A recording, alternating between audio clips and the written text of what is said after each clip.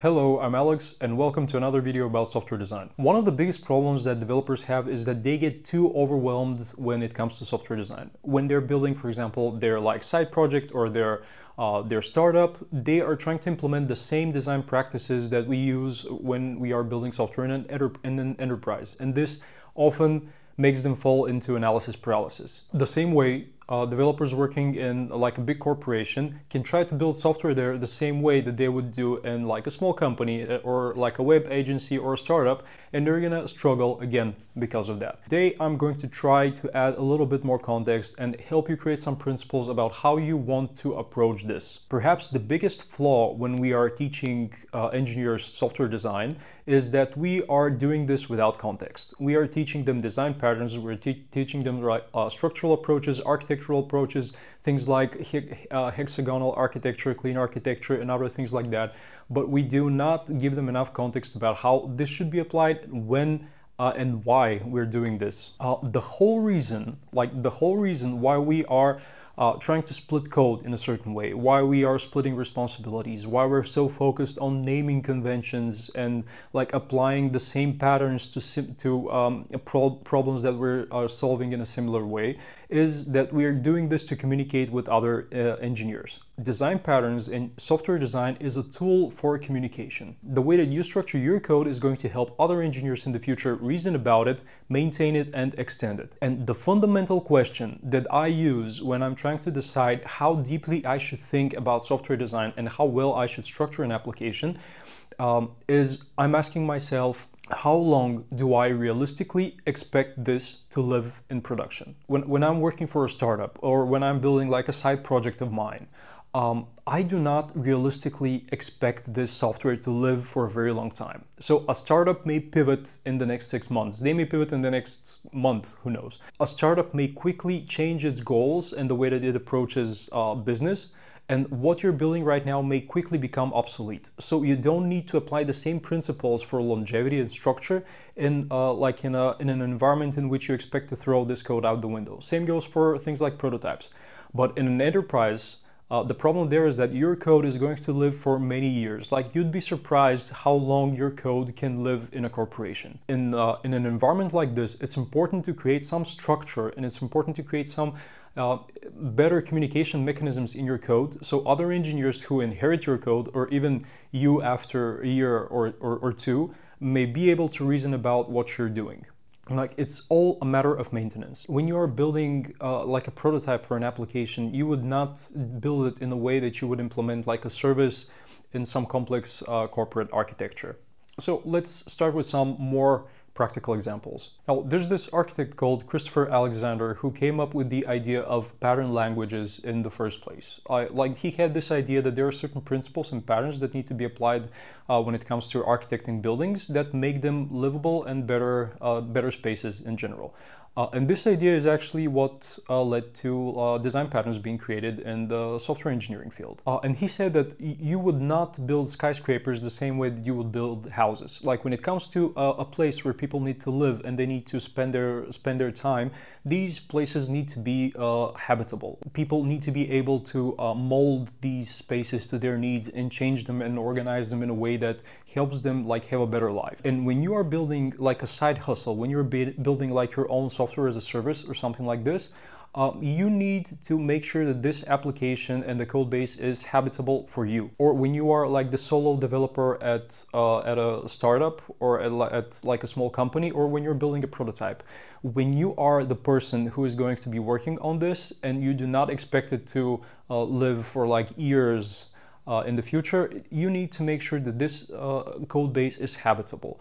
And what this means differs from one person to another. Uh, basically, you need to make sure that um, you can find your way in this application and it fits the mental models that work best for your uh, like for your understanding of, uh, of software. Let's take a REST API for example. Uh, the way that I structure a REST API when I'm working on one of my projects is that I'm putting every handler in like a uh, in a different file and I'm putting all the logic there like the HTTP logic like the business logic even data uh, even database logic and I'm just putting each handler in a, in, in, a separate file and this helps me reason about the whole thing better. Now there are other engineers who um, when it comes to their personal projects they prefer to put everything in like a single file and it can grow up to two three thousand lines of code long. And this works for them because it's easier for them to reason about it, it's easier for them to uh, reuse logic this way, and it's easier for them like to, to work when everything is put together. Me personally, I get overwhelmed when I try to do this. Uh, I, I don't like looking at too much code, I don't like scrolling, I want to be able to look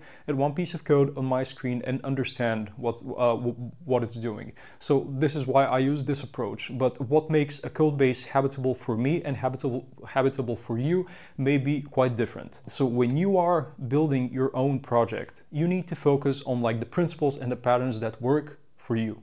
For example, I try not to use classes because I have a easier time working with uh, simple functions and objects. I try to write as many pure functions as possible and try to contain like the side effects. There are other people who prefer to like use classes for things like it's easier for them to, to reason about logic when they see when they see that it's grouped in classes and they use like inheritance in the other uh, OOP mechanisms to like to implement it. There is not a single way that works, so do not get trapped into in like analysis paralysis. D don't think that you need like MVC or like a specific approach like to build your application. Just pick something that works for you, pick something that you understand. When you're building like a house in the countryside, you would not approach it like you would build a skyscraper because this is a place that you want to live in. This is a place that like you want to make a home for yourself basically in that code base, something that you can work on, something you can change, something that you are going to have fun extending in the future. But when you are building like uh, an, an, application for a corporation, like things get a little bit different. What you're going to build is not only going to be used by you. There are going to be a lot of other people that are going to be changing this in the future. Uh, and this also is going to live for quite a long time. I have written services uh, for corporations that I know for a fact are still used seven or eight years later. And the fact that I structured them well back then is what's helping my colleagues still maintain them right now without having to rewrite them or change like the whole architecture. When you are building a startup, you do not need to uh, do ports and adapters. You do not have to do like clean architecture. These things help when you are building something that is going to live for a long time. Uh, when you're building, like when you're working in a team, and you expect this to, and you ex expect your work to live longer, then you need to uh, apply these principles because uh, when someone else has to change something in, in an application that you've built, when someone has to go and maintain or extend something that you've created, it will be easier for them like to make the change when your code is modularized, when it is split by responsibilities, when you have added like layers, when you have created like a separate business layer, or when, and when you're created, when you've created a separate like repository when you're doing the database work. So for example, if they have to change uh, like a small bit in like the business logic, the way that you're looping over like something, the way that you're parsing data or like the format of like the HTTP response, they can find the function or the class or the object or whatever it is in your language uh, that is responsible for this and they can only make the change there. They can address the tests for this and then they can ship it without having to understand like the whole other part of the code base. When you're building at a startup, you do not know if this company is going to be doing the same thing six months down the line. The thought that you put in this design can quickly become obsolete. Like what you should be stressing is making the code base habitable. Uh, again, when I'm saying when I'm saying that you should not put that much structure in your code, it doesn't mean that you should be making a mess. It doesn't mean that you should be uh, creating sloppy work. Like you still need to put thought into your design. Otherwise, like you, you yourself are going to get lost. But you, you, you do not have to think about like how to apply the strategy design pattern or how to apply the builder design pattern uh, because your code, like your business will not benefit from this. Like a corporation benefits from your code having structure, even if this means that it takes you a little longer to create it it, even if this means that like it's a little bit more boilerplate because you're building for the future. You're building like you're building this communication language that will allow people to then like make changes to it. The most difficult thing, like the most difficult design choices come when you are in the middle. For example, when you are not when you're in a big corporation, there are established standards about usually like about how things need to be built, and then you just follow the standards. When you're building in a startup, you accept that you're uh, valuing speed over everything else. So you're just focused on speed.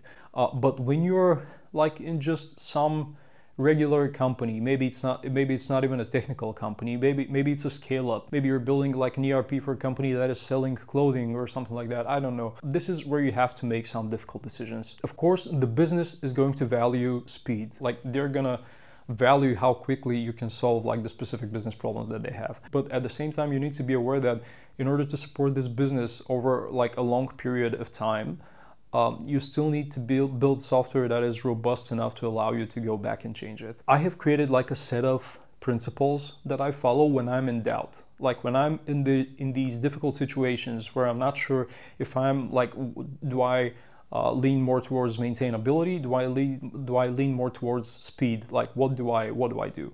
Um, in these situations, I just try to focus on putting layers. So this means that I try to put wedges between the different technical responsibilities of my application. So when I, for example, take a REST API, um, uh, I'm gonna try to split like the HTTP logic, the business logic, and the domain logic in like three separate functions. You do not you do not need to go overboard. You do not need to create like classes and uh, like uh, abstractions and complex hierarchies. You just need like to split it into functions. Like I'm not gonna have like a super uh, like rigid clean architecture structure with ports and adapters and everything but I can like make changes to smaller part of parts of the application and I can like I have this coherency and this small like modularization. So if I need to make a change to the business logic I have it all in one place and I can see how like the business logic of this clothing company for example works without need without needing to bother with like details about the database.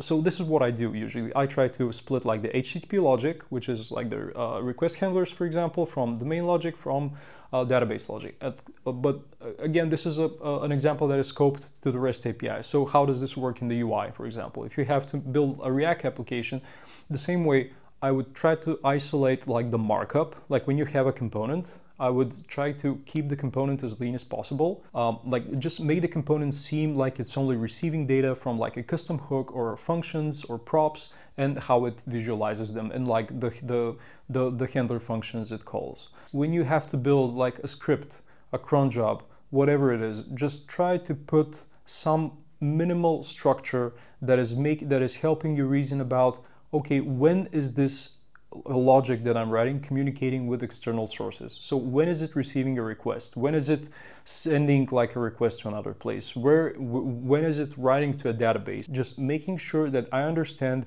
when my logic is communicating with something that is out of my control. Uh, and I have found that just trying to create this split between like business logic and the rest of your applications and creating some layers around that is helping me build more maintainable applications. Okay, to summarize things, if you are an indie hacker or if you are a developer who is building their own project on the side, focus on habitability, focus on um, like building a code base that you can live in, focus on building a code base that you can maintain and extend regardless of what other engineers are telling you about best practices and about structure, design, and everything else. However, when you are building something in like a more corporate environment or something like for a larger company, follow the standards that have been created there. Or if there are no standards, create standards, like enforce a specific structure. You don't need to always be building software the same way. Like you can build software one way in your 95 and then for your own project or uh, and then for your own projects you can do it differently. So yeah, I hope this helps you. I hope it unblocks you and like gets you out of analysis paralysis. And again, don't forget like if you're uh, an engineer who is used to like the corporate way of building software, don't forget that smaller companies and smaller projects have different needs. Uh, that's going to be all for, uh, all for today. And if you want to read more about software design, I have written a few books about it and I'm going to link them in the description of the video. So make sure to check them out. Thank you.